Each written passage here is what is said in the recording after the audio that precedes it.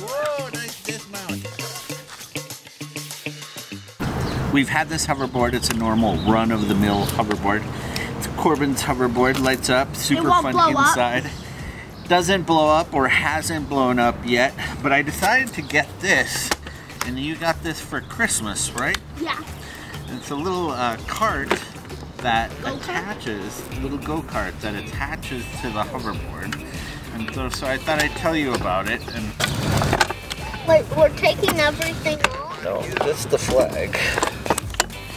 There's these these Velcro straps that hold the cart on, and then I have these extra straps that came with it that help hold the the um, foot pad down.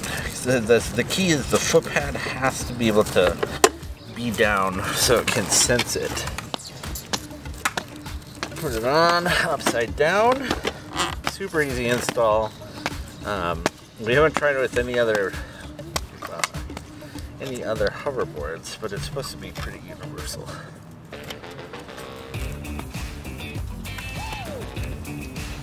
This is two straps. So I've ridden this because you can adjust. The, Can you ride it? yeah, you can adjust this to make it longer or shorter um, for bigger riders or smaller riders. Can I ride it yet? You can hold on. If I had one of these when I was a kid, I'd be in trouble. Down. So it is fast.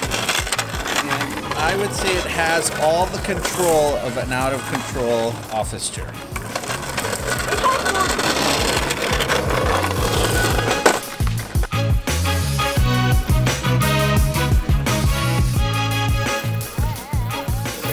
You'll see it right in the street.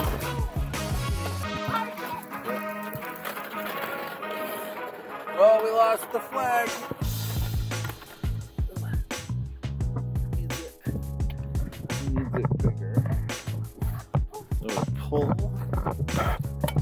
Let's see how that is. Sit in there. Stick your feet out. There, that's good, right? Okay. This in. Okay. Corbin, uh, Corbin is nine. It's his hoverboard, and uh, fast.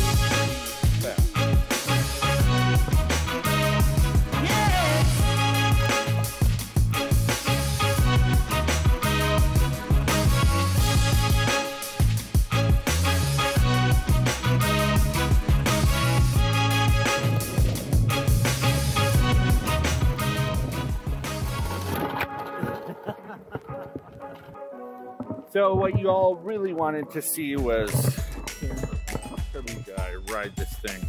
I've extended it all the way out. Perfect for little guys and girls who have a hoverboard. Uh, it was pretty inexpensive. It is fun to ride and kind of terrifying. And the kids, you guys like riding it, right?